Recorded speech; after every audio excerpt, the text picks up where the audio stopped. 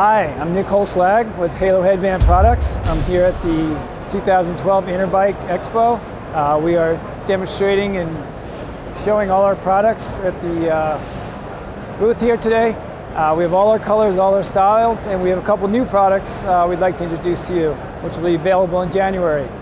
Uh, for those that aren't familiar with Halo, I'd like to introduce you how it works and what the features are, and uh, point out some benefits of Halo headband. What we're demonstrating here is two heads we call Henry drip heads. On the right we have a before, and this is for those of us that sweat quite a bit and get sweat dripping right in our eyes, a nice burning sensation, which we all love. And then of course over here we have the after, which is our Halo headband. And as you can see, no sweat in his eyes.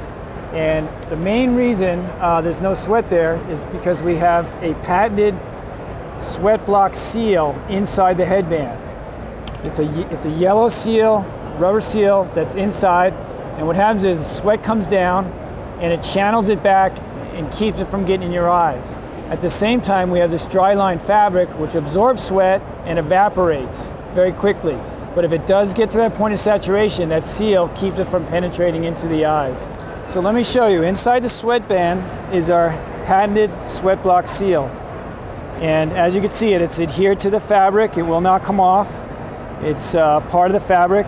But that little ridge line right there, that's what keeps the sweat, again, up here, ch channeling the sweat back and keeping it from getting in your eyes.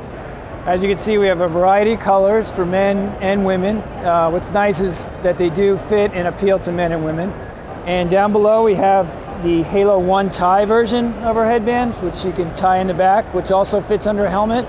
Uh, this is one of the products that we received uh, Editor's, Editor's Choice uh, Award in Bicycle Magazine. Um, also a side note, we on our Halo 2 pullovers, we got a five-star rating in Mountain Bike Action Magazine, which is a perfect score, which you don't see very often, especially for a headband product like that. And next we have our skull cap, which is uh, another very big seller for us. Uh, it's a very nice form-fitting four-way stretch, stretch microfiber top. It's, uh, it's a mesh that breathes really well and very, very comfortable under helmets.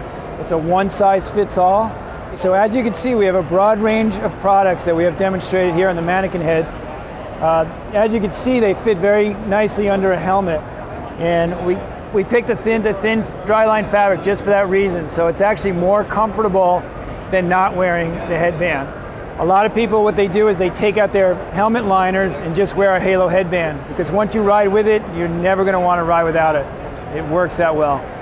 And finally, I'd like to introduce to you our Halo V headband. This is a new product of, of ours uh, for 2013. It'll be available in January, and we're very excited about this product. Uh, we've done many months of testing with it and have gotten great feedback. Uh, it's, it's very similar to our Halo 2 pullover, with the exception of we have a Velcro back adjustment. As you can see, the Velcro here, we have the two pieces connect and holds very, very tightly. So you can virtually fit any size head, from a very small head to a very large head. Uh, what's nice also about this Velcro we have, it's an actual Velcro branded product. It's called One Wrap, and it will not stick to your hair. Uh, it's a very smooth, soft product and flat stitch, so it will fit under a helmet. And uh, this, this product we anticipate to be become one of our biggest products uh, for sales. I want to thank you for watching our uh, little feature on Halo Headband products. If you'd like more information, go to www.haloheadband.com and you can find out everything you need to know about all these products I just mentioned. And uh, once again, thanks, thanks for watching.